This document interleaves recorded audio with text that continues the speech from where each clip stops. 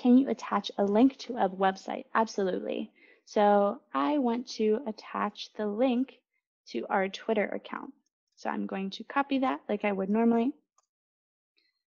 Compose a message, select my recipients. I want that to go to everyone so that they know about the TalkingPoints Twitter and just paste it like normal. So in our system, it might not show up blue and underlined on your end, but when families receive it, it will be a clickable link and be able to click on whatever that is. And that brings me to another great point, which are YouTube videos.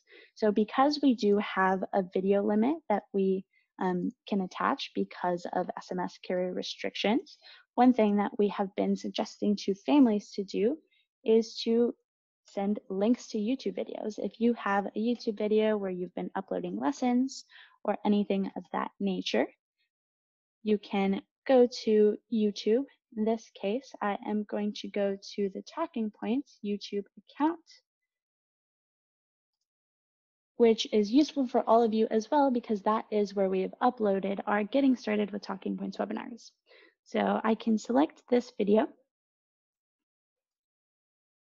And that's me. Wow.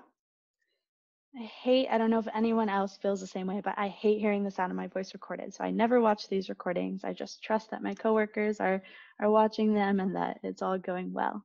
So I've copied and pasted the link to that YouTube. And I can select again who I want it to go to and I can send it out. And one awesome thing that my coworker Aubrey has discovered as well is that in YouTube videos, you can actually caption them and put in subtitles.